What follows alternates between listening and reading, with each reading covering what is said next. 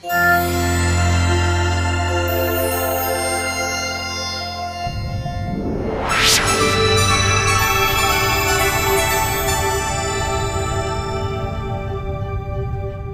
cut everybody. This next screen needs to be green screen, but I have no clue how to use a green screen.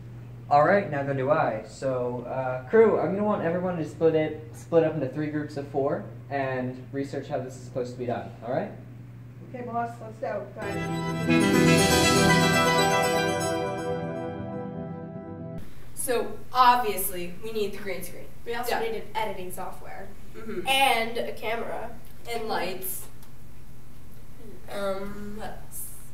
So green screen technology is also known as chroma key, chroma key compositing, or chroma keying. It's also a special effects post-production technique used for compositing two images or video streams together based on color cues. And obviously don't use anything clean.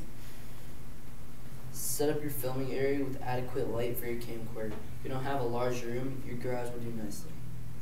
Arrange lighting with three lights. You want to light the blue or green background evenly with your lights set at a 40 degree angle from the screen. The lights should be far enough back so they don't cause hot spots.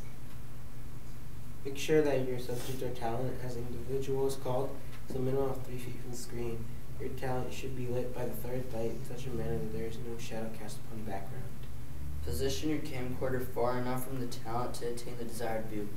A full body shot, a half body shot, or a seated shot of the talent.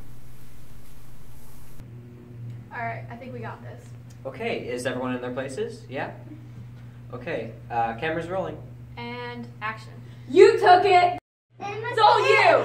No. You you haven't said anything. It's all you.